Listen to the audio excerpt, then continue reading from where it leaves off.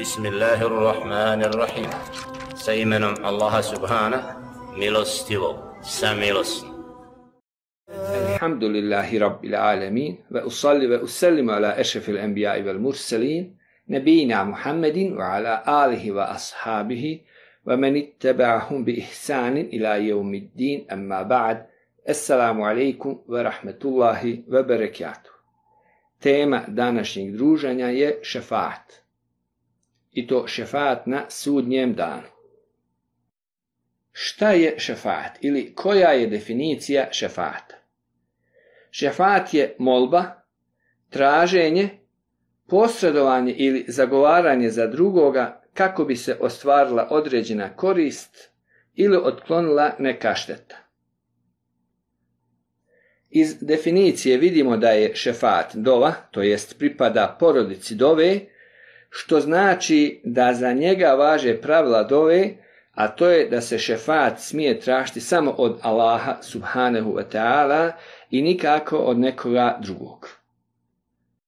Postoji razlika između šefata na ovome svijetu i šefata na sudnjem danu. Šefat na ovome svijetu uglavnom nema nekih posebnih pravila i šefat može tražiti kad ko hoće i od koga hoće.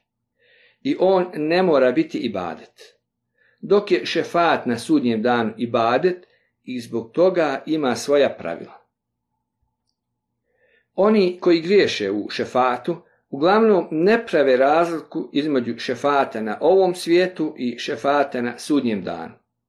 Kada kažemo šefat na sudnjem danu, to znači da će se taj šefat ostvariti na sudnjem danu, iako ga možemo tražiti na ovom svijetu dok smo još živi. Uslovi ispravnosti šefata Ovdje se misli na uslove koji se moraju ispuniti da bi se moglo zauzimati na sudnjem danu. Postoje dva uslova koji se moraju ostvariti da bi se postigao šefat na sudnjem danu. Prvi uslov je Allahova dozvola, a drugi uslov je Allahovo zadvojstvo. Prvi uslov je Allahova dozvola, odnosno izun, zagovorniku da se zagovara. To znači, na sudnjem danu niko neće šefat činiti osim kome Allah dozvoli.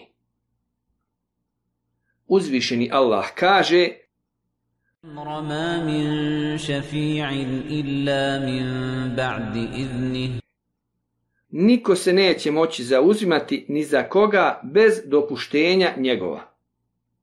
U drugom ajetu uzvišeni Allah kaže ولا تنفع الشفاعة عنده إلا لمن أذن له Kod njega će se moći zauzimati samo onaj kome on dopusti.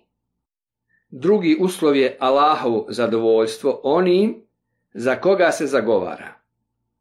To jest nema šefata osim za onoga s kim je Allah subhanahu wa ta'ala zadovoljan, a to su oni koji su umorili sa teuhidom, sa imanom, to jest samo muslimani znači. Što znači da neće biti šefata za nemuslimane, za nevjernike.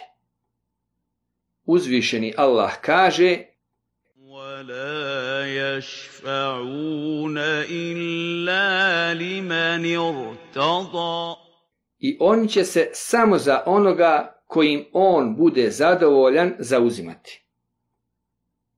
U drugom ajetu uzvišeni Allah kaže وكم من ملك في السماوات لا تغني شفاعتهم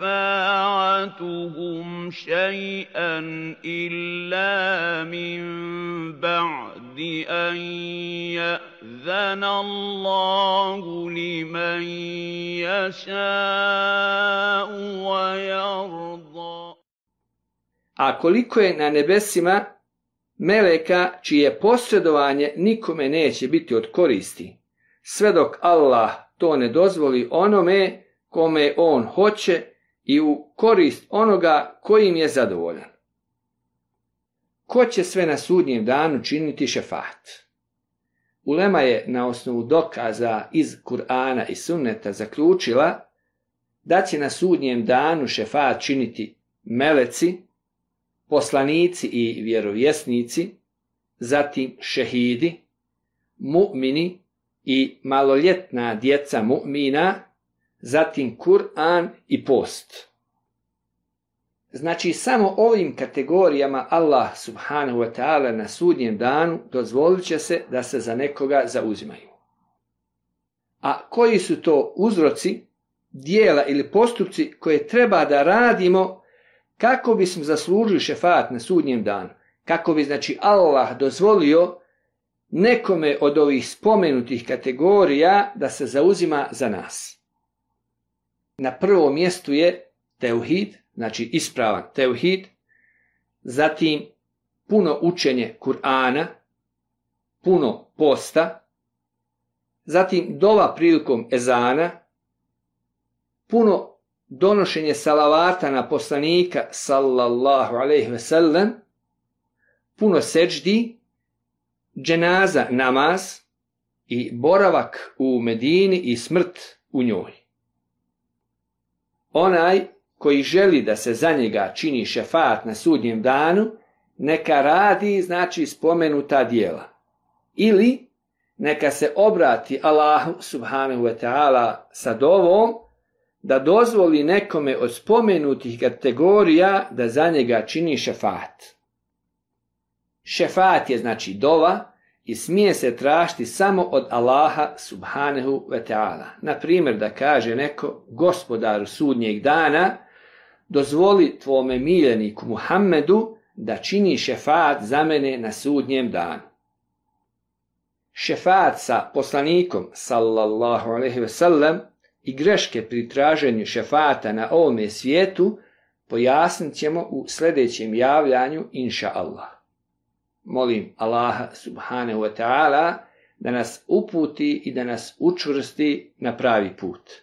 Assalamu alaikum wa rahmetullahi wa barakatuh.